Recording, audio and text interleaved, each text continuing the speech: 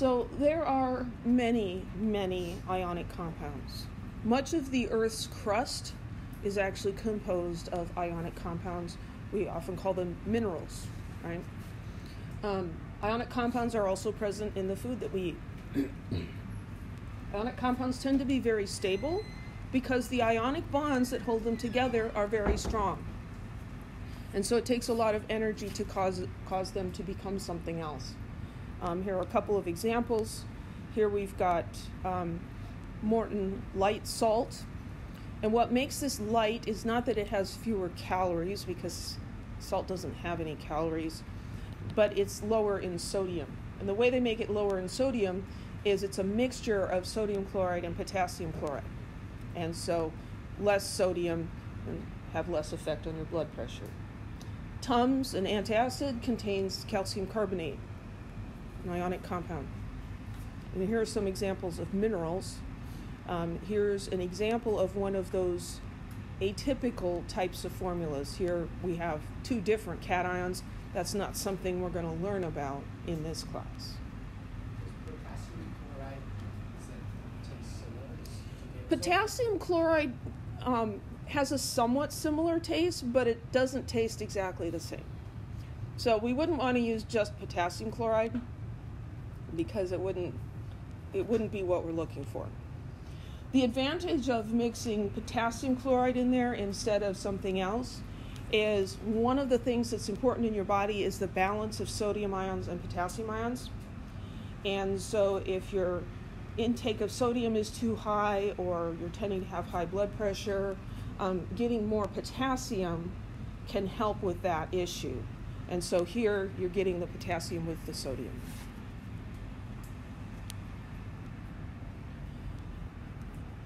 So we're going to learn how to write formulas for ionic compounds. We should always start with the symbol for each ion.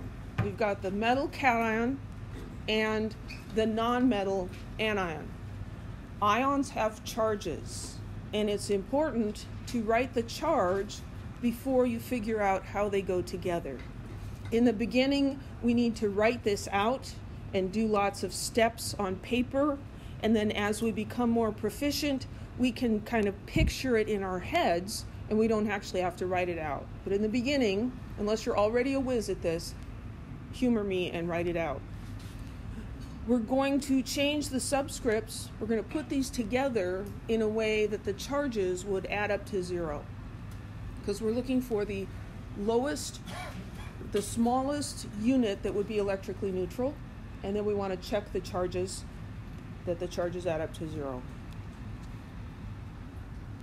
So, ionic compounds always have positive and negative ions. You can't have two positives or two negatives. Electrical charges that are the same repel each other. We have to have opposite charges. The first element is usually a metal. There's only one exception to that that you need to remember, and that's if it starts with NH4. NH4 is ammonium. It's the only polyatomic cation that we expect you to remember. And when we make chemical formulas, the sums of the charges have to add up to zero. Or you can say the sum of the positive charges must equal the sum of the negative charges. And the formula is always going to be the smallest whole number ratio. So let's do some examples. So that's an ionic compound without a metal? Pardon me? That's an ionic compound without a metal? Right. If it starts with NH4, those are the only ones that I expect you to be able to identify. That's not very common. Not very common, no. But it does show up, and it shows up in this class, which is why it's like, yeah, that's the one thing. Okay, so let's take what we learned there and write a formula for the compound formed between potassium and sulfur. So we have two different elements here. Potassium, what's the symbol for potassium? K. And is it a metal or a nonmetal? It's a metal. Um, sulfur is S, and it's a nonmetal. So we have a metal and a nonmetal. In chemistry land, this is a guy and a girl. Um, and so we need to figure out what charge does the potassium ion have? Plus one. And we know that because it's in group one. So we learned that the main group metals, group one plus one, group two plus two, group three plus three, right? So we'll indicate the charge here, plus one. And then sulfur, sulfur is a nonmetal over here. And how do we figure out the charge on that? Count from the end. So at the end is argon, and we go back one is negative one to chlorine, back two to sulfur. So it's two negative. So two minus. So any questions about that? And remember, nonmetals are negative. Mm, right. Okay, so that's the first step, the two ions with their charges. And now what we need to do is figure out how can we combine these? What number of each so that we get a neutral compound? And there are several ways to think about this. Okay. Some of you can look at that and say, well, the least common multiple of 1 and 2 is 2, and so I just need two Ks and one S. What's the big deal? Oh, great, you're fine. You can just think about something else right now. Um, most of the rest of you are like, what the heck were you talking about? So I'm going to show you two other ways to think about this. So, what I need is for the total charge on the positive ions to be equal to the total charge on the negative ions. So, what I've got right now is I've got plus one and I've got minus two. This needs to be equal but opposite in sign. These need to add up to zero. Is 1 minus 2 0? No, of course it isn't. I need this to be plus 2. Well, if I put another potassium ion in here, now it's plus 2, right? Because I have two of them. Plus 2 and minus 2 add up to 0, right? So this combination here would be neutral. And so I'm going to represent that as the cation first, and there's two of those, followed by the anion. There's one, I don't need to write the one. Any questions? We leave out the plus and two. We leave out the charges when we write the formula for the compound. Because, you know, I'm a person I always I always like to know why. And sometimes um, the actual reason is unknowable or would just take too much effort to know. So I make up my own reasons. So my reason for why don't we show those is it would be so messy. Now we've got stacked superscripts and subscripts, and we've got all these signs and numbers all over the place. And this isn't necessary. If we want to know the charges, we look at the periodic table. We only are going to write things that are necessary. So, if that helps, that's why we don't do that. So that's one way. Anybody have any questions about that? The other method um, I tend to refer to as crisscross. Um, students like this because you don't have to think very much, um, and it works most of the time, but you do have to be a little bit careful with it. So, what you're going to do here, you can use the crisscross method if these numbers are not the same. So, here we have 1 and 2, they're not the same. So, I'm going to take the number here, which is an unwritten 1, and that's going to become the subscript for the other ion. And this 2 is going to become the subscript for this ion. And so I end up with K2O.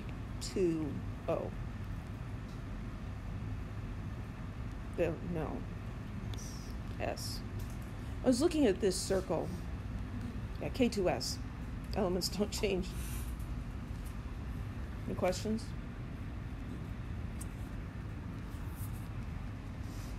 Let's do another one. Aluminum and nitrogen. Well, what's the symbol for aluminum? Al. Metal or non-metal? Then Metal. What's the charge?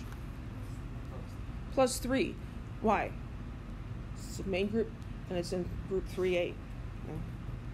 So the charge here is 3 plus. And then nitrogen is N. What's the charge on nitrogen? Negative 3. So we write that as 3 minus. And after we have the formulas for the ions with their charges, then we can figure out how to put them together to make a neutral compound. So here I have plus 3 and minus 3. The number is the same.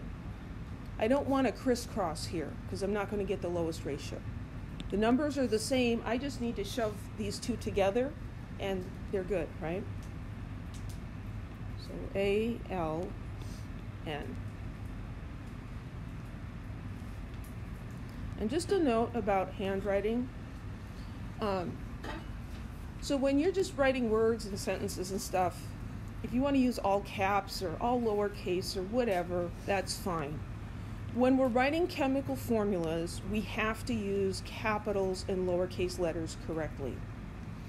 And so aluminum is not a L.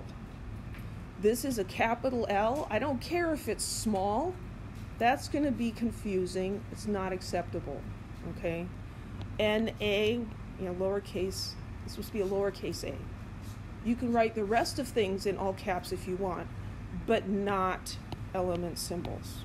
Okay? Yes? What would each of those compounds become? This would be potassium sulfide, and this would be aluminum nitride. And we'll get to that in just a minute. Any other questions? Naming ionic compounds. So glad you asked. Um, there are compounds that have common names. An example of that would be water. That's not the scientific name for for that compound, but it's what everybody uses. There are lots of common names for different compounds, but we also have systematic names for different compounds. Um, so every compound has one correct systematic name. Now, sometimes that systematic name is really long and complicated, and so we call it something else. Like the pain reliever ibuprofen. Well, Advil is, a, is the brand name, but we call the actual active ingredient ibuprofen. That's not the scientific name for that compound. But it's easy, it's a common name, because the actual scientific name is really, really long. But it does exist. So we're going to learn systematic names for different compounds. Each type of compound has a different set of naming rules. You might think, well, why? Um, because the different rules work well for their compounds. This is a little bit like humans. Um, humans in different cultures have different ways of naming their children, right? So my ancestors all came from Sweden. And back in the old days, the son, for his last name, would take his father's name with, with son at the end. So if your dad's name was John and you're a guy, then your last name is Johnson. If your dad's name was Anders, then you are so and so Anderson. That's what it's That's why they're all sons. Yeah, Carlson, Johansson, all of that. What if your name was Carlson? Would be Carlson's son? Well, your last name would be Carlson, but you'd have a first name. Oh, Yeah. So if you were Peter Carlson, then your son, his last name would be Peterson. So in a way, you know, it's really helpful because it tells who your dad is. But then in another way, you try to go into genealogy research and stuff, and the last names change every generation. Like, ah, becomes very confusing. And then what about the women? Because I'm not the son of Carl, right? They use daughter, D O T T E R. And so if your dad's name was John and you were a girl, your last name is John's daughter, Andrew's daughter. And then when you got married, you took your husband's name. But, you know, that's a pattern. That's not the pattern that we use in the United States. There are Asian countries and other countries where people just have a single name. This is how they do it. It works for them. There are other places where your family name is first and your individual name is second, right? Different systems, right? So you go to that culture and you you accept that this is how they name their children.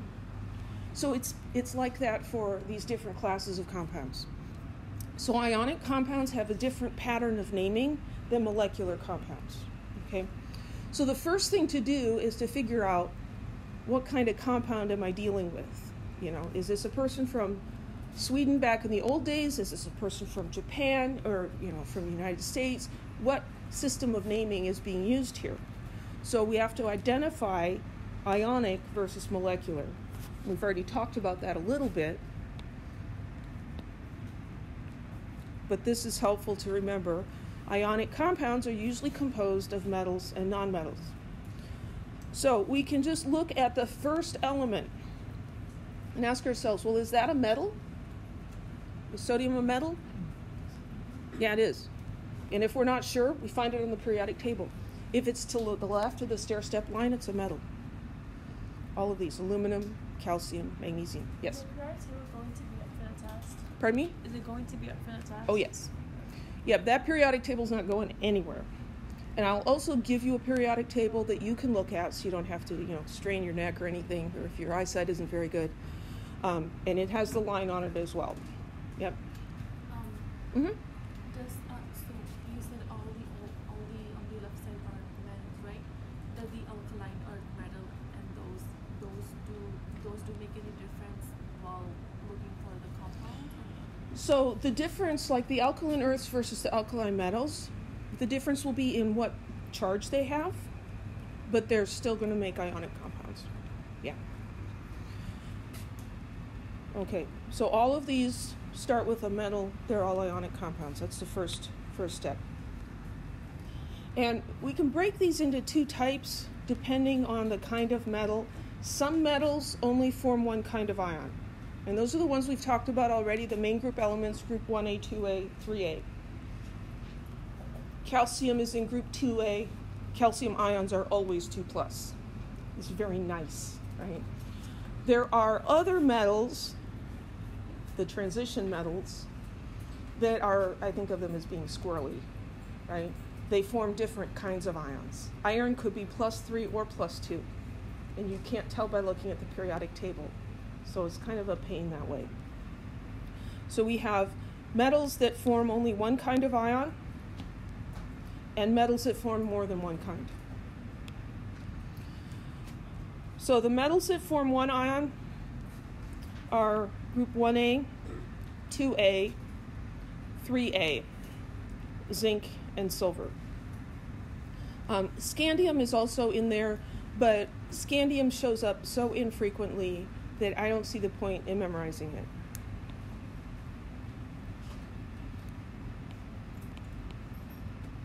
Groups 1A, 2A, 3A, zinc, and oops, silver. So, my goal today is to chant that enough times that you can't forget it. Groups 1A, 2A, 3A, zinc, and silver.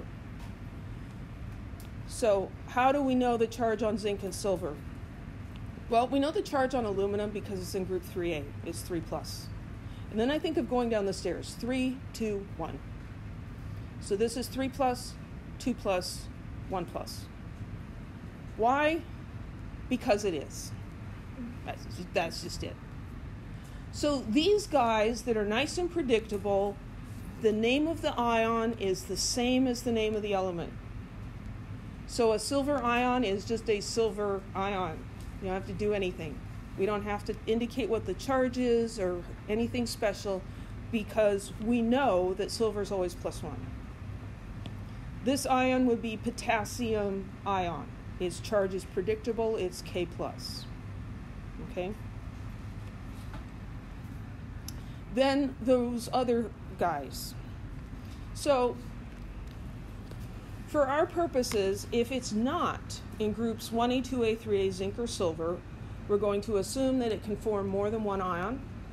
And then in the name, we have to specify which ion are we talking about. So I mentioned iron here's iron. Iron commonly forms plus three or, oh, that's a two, plus two or plus three ions. And so they need individual names so that we can tell them apart. This is an older system of naming with us and ick, and so this was ferrous and ferric, cobaltous and cobaltic. And I personally have a hard time remembering which is which is which, which was more and which was less charge. And so if I see this and I need the charge, I'm actually just going to go look it up. These older names exist. If they show up in homework or something, just go to a chart like this and look up what the charge is. You don't memorize those. It's old fashioned. We need to know it exists. Like they used to have a lot of toothpaste commercials. This toothpaste contains stannous fluoride. What's stannous? Stannous is tin. They like to use stannous fluoride instead of tin 2 fluoride because people don't like the idea of there being tin in their toothpaste, right? That doesn't sound good. Stannous sounds fancier. So the names we're going to use, you take the element name and then we use Roman numerals and put the charge in Roman numerals. So again, this is a little bit like a naming system, say like the kings of England, right?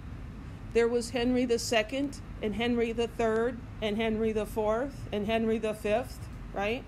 Why do we need the Roman numeral? Because they had the same first name, right? They had the same name, and so distinguish them from each other, we need a Roman numeral. So Roman numerals are only used with metals. When was the last time you met someone named Susan the Fourth? Right? It doesn't happen, right? Just doesn't happen with women. So these are metals, and you just indicate the name with Roman numerals in parentheses afterwards. Okay? Any questions?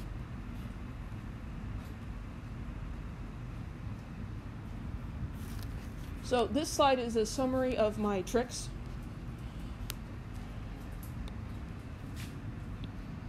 So Metals in group 1A and 2A form ions with that charge. Um, metals in this triangle are also predictable.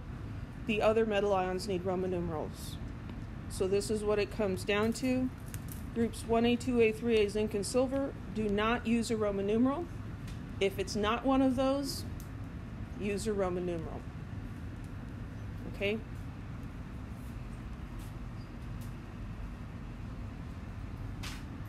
So those are the cations. What about the anions?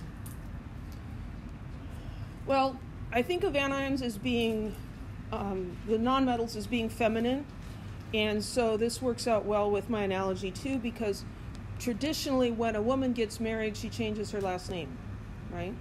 So when a nonmetal becomes an ion, it changes the ending of its name. So fluorine becomes fluoride, chlorine becomes chloride. And so, if you want to, you can think of forming an ionic compound as a guy and a girl getting married, right? If you don't want to think of it that way, that's fine too. So, we just change the ending. We don't have to use Roman numerals or anything to specify the charges because all of these charges we can figure out from the periodic table, right? Count backward from the noble gases.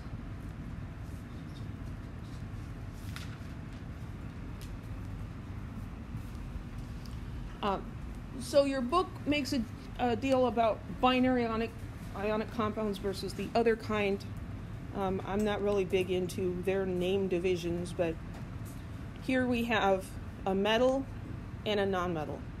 So binary is two, two ions. The name of the cation followed by the name of the anion. The name of the anion is the base name of that element with the ending changed to "ide." There's a space between the two names, just like you put a space between your first name and your last name. These are not proper nouns, though, so they are not capitalized.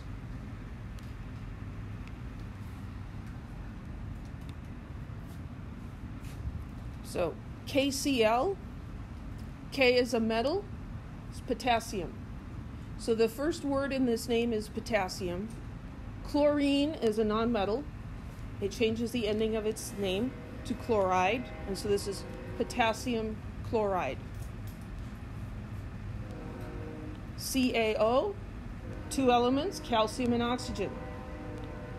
Calcium is just calcium because it's in group 2A. This was in group 1A. Group 1A, 2A, 3 is zinc or silver, no Roman numerals.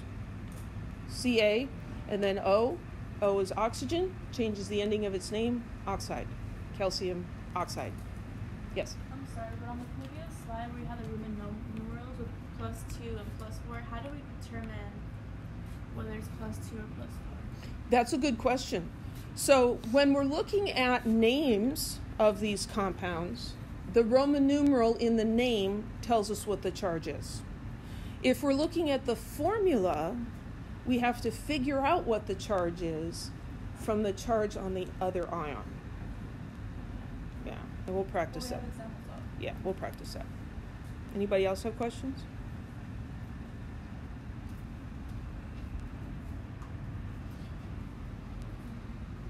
So here we are naming compounds containing a metal that forms only one type of ion, cation.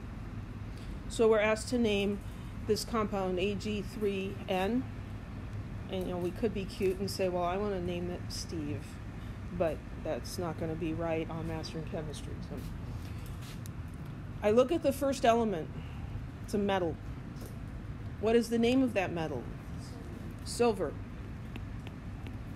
And then I'm going to ask myself, is that in group 1A, 2A, 3A zinc or silver? well, yeah, it's silver. No Roman numeral. And then I'm going to look at the other element, nitrogen, and it changes the ending of its name and becomes nitride. So this is silver nitride.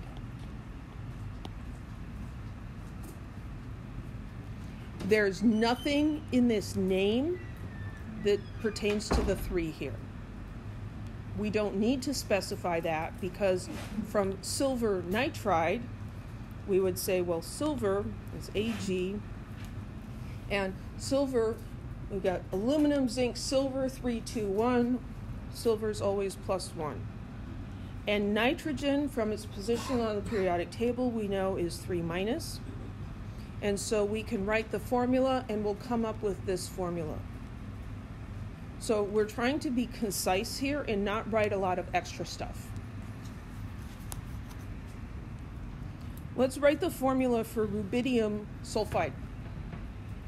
This is going the other way. Rubidium has the symbol Rb. And from its position on the periodic table, what's the charge on it? Plus one. Sulfur, done this one this morning. Sulfur is S and it's 2 minus. Write the formulas for the ions with their charges first, and then figure out how to put them together. So, what is the formula? Rb2S.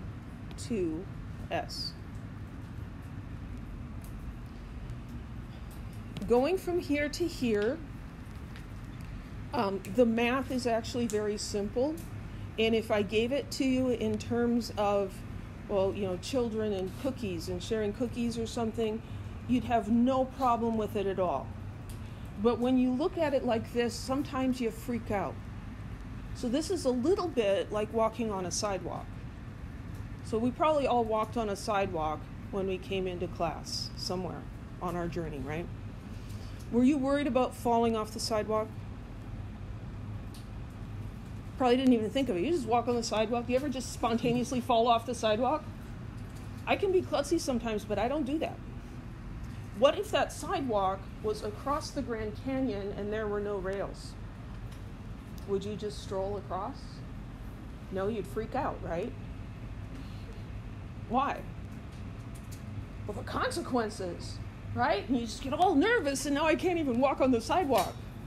That's what happens to some people when they look at something like this and try to figure this out. It's not that it's hard, it's that you've just like frozen, right? So if you're having trouble with stuff like this, please come and talk to me. And we'll we'll use models or pictures. I've got lots of different ways I can explain it. Once I explain it so that it clicks in your head, you'll say, Oh, that's so easy. Yep, just like walking down the sidewalk. And then you'll be good to go. Okay? But a lot of students struggle with this and they just struggle with it all semester long and it makes everything hard. So if you need help, ask for help. Okay?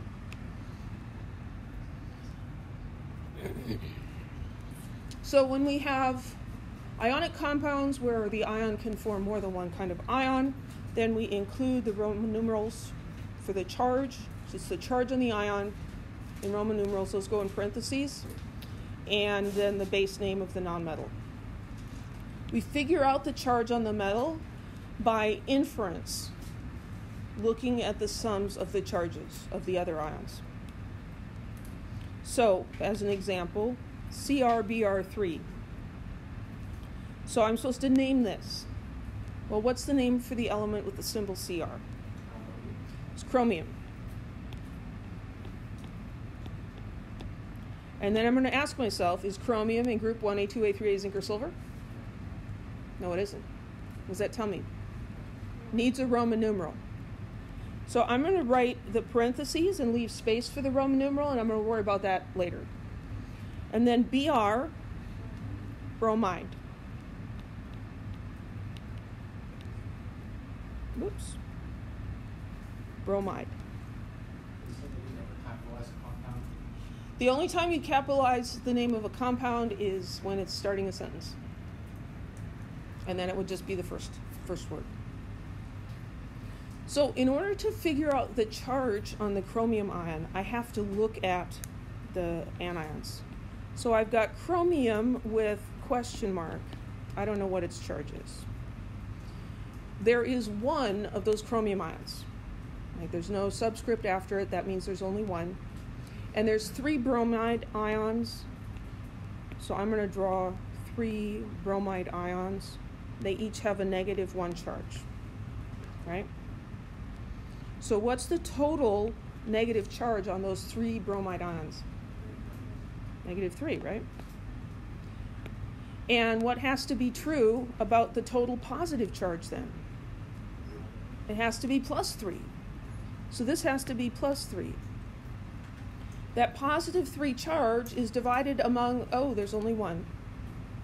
This one ion has to have the positive three charge. So then this is chromium 3.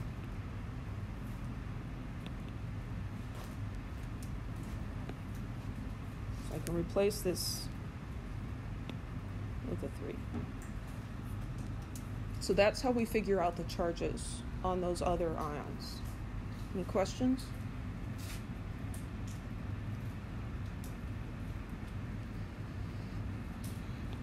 Name this one FES. Well, oh, the first element is iron.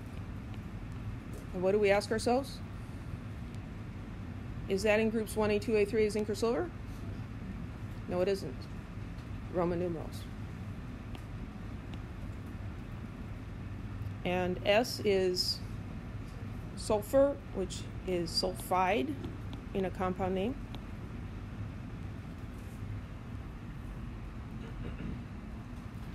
This compound has one iron ion for every one sulfide ion. The charge on the sulfide ion is 2 minus from its position on the periodic table. If there's one of these for every one of those and it's neutral, what's the charge on the iron? Plus 2. So this must be iron 2 plus. So iron 2. Any questions? Write the formula for ruthenium IV oxide. What does IV mean? Four. Because V is five, and this is one before five. Four. And be thankful that we don't have to do math with Roman numerals. So, ruthenium, what's the symbol? It's RU. Are you sure? Um, anytime you're doing these, try to remember what the symbol is first, and then, unless you're super sure, double check. So ruthenium 4, what does that IV tell me? What does that tell me? That's the charge. So this is ruthenium with a 4 plus charge.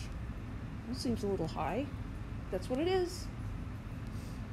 Oxide is oxygen, and what's the charge on oxygen? 2 minus. So then, how do we put these together so that we have a neutral compound? We could do, well, wait. Um, if we have Ru4 O2, that's not going to work. Right? Because if we have four of these, it's going to be 16, and two of those would be four. Wait. Yeah. RuO2 will do it. Now, if you crisscross this and you're not careful, you're going to end up with Ru2O4. And while technically that describes the compound, this is not the lowest ratio. We want the smallest unit that's electrically neutral. So we would have to simplify the ratio 2 to 4 to 1 to 2. The other way to do this is by, you know, just kind of drawing pictures. Um, you say, well, here I've got plus 4 and I've got minus 2. This one's too small. All you can do is add more ions. You can't change their charges or subtract ions. So I need more negative ions. I could add another one, making this negative 4, and now these are going to add up to 0. Okay? Any questions?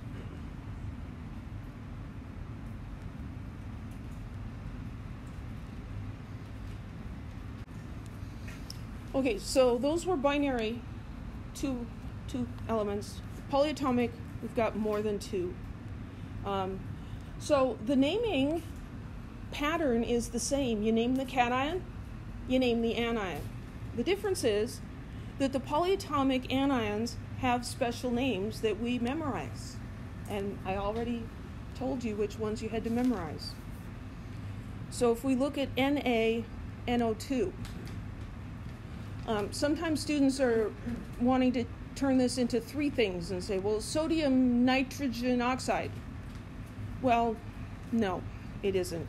Two ions, okay?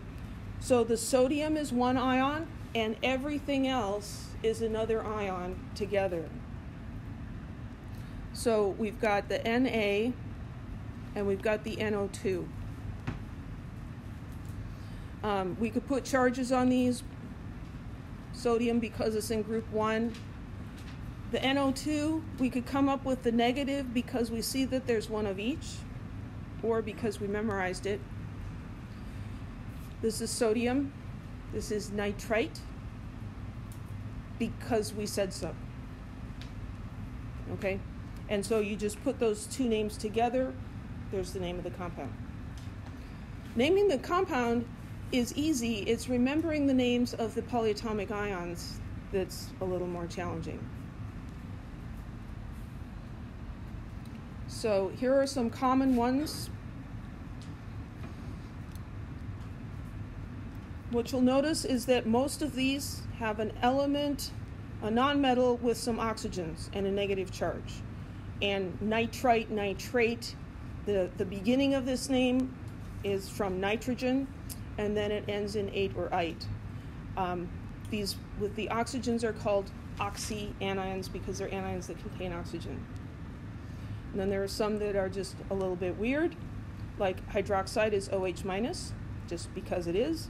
And there's our little exceptional friend, NH4, the only positive polyatomic ion on the list.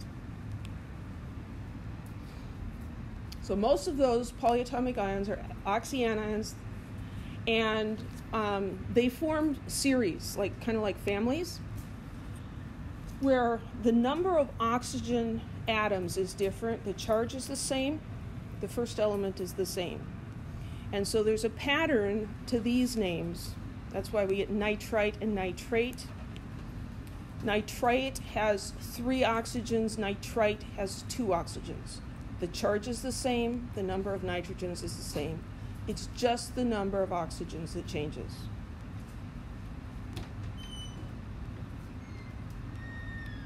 Oops. So, what if there's more than two? Well, then we use a prefix per, as in hyper, meaning more, and hypo, meaning less or below. A hypodermic needle goes below your dermis, be below your skin, right? So here's chlorate, and this is the one you should just memorize. So you memorize this guy, and then we learn the pattern and we can figure out the others from the chlorate. So here's chlorate with an extra oxygen, it's perchlorate. Like a hyperactive person has extra energy, right? Chlorite is the light version of chlorate. It's got a third fewer calories than regular Bud Light. Oh, wait. Um, a third fewer oxygens than regular chlorate, ClO2. And then one below chlorite is hypochlorite. So we're just adding or subtracting oxygens. Chlorine and bromine are in the same family on the periodic table. They're nonmetals, and so I think of them as being sisters, right? So the one sister, chlorine, combines with oxygen and makes chlorate like this. Her sister, bromine, does the same thing. It's BrO3 minus. The number of oxygens is the same, the charge is the same. The name is different because this is bromine, but it's bromate. And this is perbromate with an extra oxygen, bromite with one less, and hypobromite with yet again one less. So you memorize the ates and make the others based on the pattern. So here that is written out.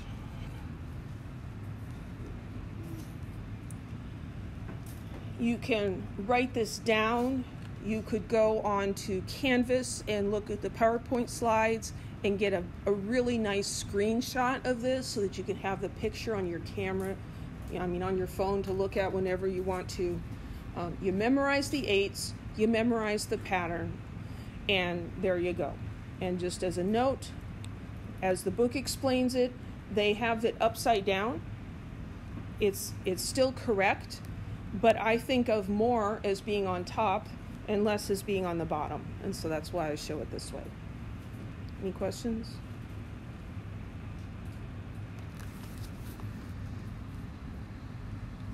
Okay, so let's name this guy SnClO32. So here we've got some parentheses without Roman numerals in them. What is up with that? And there's a number inside and outside the parentheses. So, well, let's ignore those parentheses for a minute and try to figure out what are the, there has to be two ions, just two. So draw a line here if it helps. One of the ions is Sn, and the other ion is the other stuff. ClO3.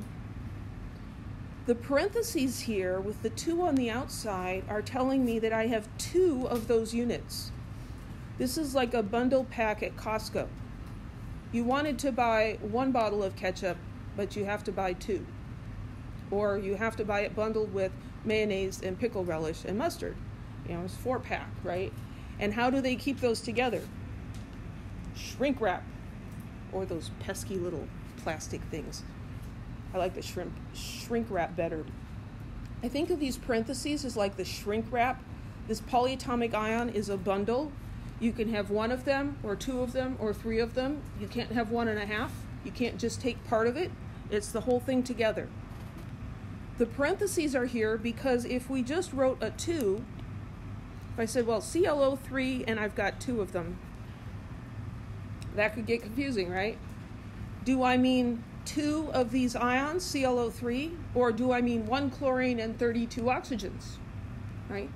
So to avoid that confusion, when we have more than one of a polyatomic ion, We put parentheses around the polyatomic ion and how many on the outside.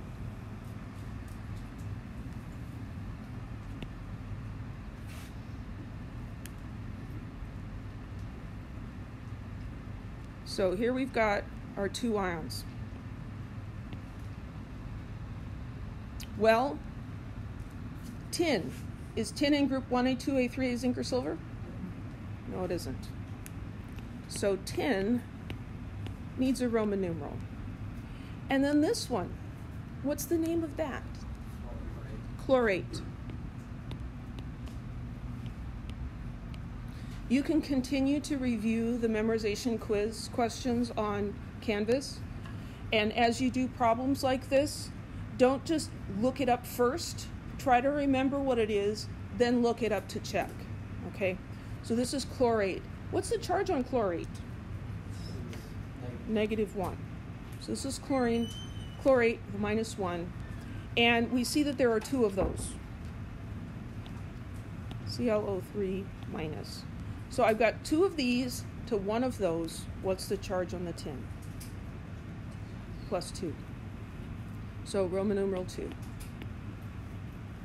This is 2 plus. And that's how we figure it out. We look at how many anions, how many cations, and the charges, and figure it out. Okay? Write the formula for cobalt 2 phosphate. Well, what's the formula for cobalt 2 ion? CO 2 plus. It's important that that O be small, because otherwise it looks like carbon monoxide. Phosphate.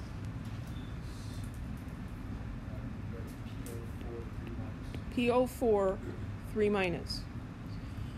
Most of these polyatomic ions, especially the ones that end in ate or ite, they're this element at the beginning, phos, phosphorus, and some oxygens and a negative charge. And like on an exam, if you're not sure, take a guess, right? Phosphate.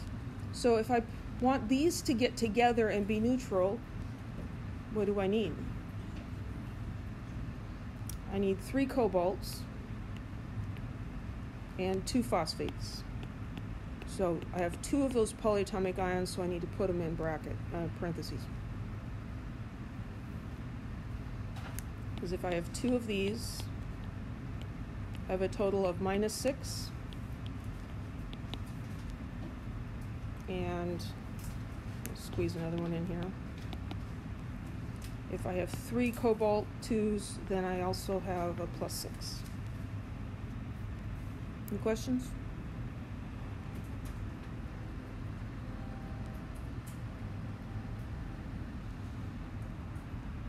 Hydrated compounds.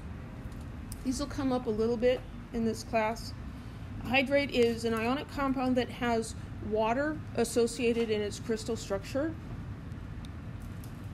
It is a compound because it's a fixed number of water molecules. It's not just that it's wet. So, cobalt 2 chloride, COCl2, if it has six water molecules with it, it's this pretty pinkish red color and if it doesn't have water, it's this purple lavender color. This has water, and so it's called the hydrate, because when you're hydrated, that means you've been drinking enough water, right? And this isn't the dehydrate, it's the anhydrate. It's anhydrous without water. So, with the formulas, what we do is there's a dot here and that dot does not mean multiplication. It's just a dot, okay? It's a dot, seven H2Os. What we're going to do is we're going to take the seven and use a numerical prefix and then the word hydrate. So this is magnesium sulfate, and the prefix for seven is hepta, heptahydrate. Um, this guy right here COCl2 is cobalt 2 chloride, hexahydrate. So these are the common prefixes. Down here. And many of them should be familiar to you. You know, a triangle has how many sides? Tri means three. The pentagon has five sides, etc. Tetra. Again, that game Tetris. In the game Tetris, you've got things falling, and the things that are falling are four squares put together. Maybe you didn't notice that. The squares have four sides, and there's four of them. It's all based on four. Deca, like decade. So we need to know these prefixes. Most of them you already know. And hemi means half. So let's just practice a little bit naming these guys. What would we call this?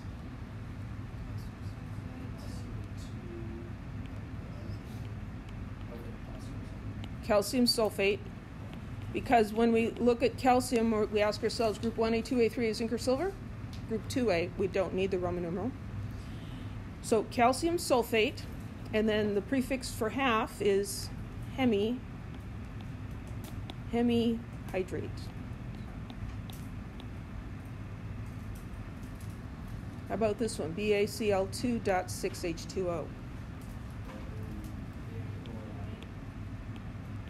Barium chloride. And 6 is hexa. Hexa and 6 are the only ones that have X. Hexahydrate. Let's practice going the other way. Copper 2 sulfate pentahydrate. Well, what's the ion co- copper 2? Cu with what charge? 2 plus. And what's the formula for sulfate? SO4, 2 minus. So we've got plus 2 and minus 2, so we don't need to do anything fancy. It's just going to be CuSO4. And then we put a dot. Penta is 5. It's dot 5 H2O.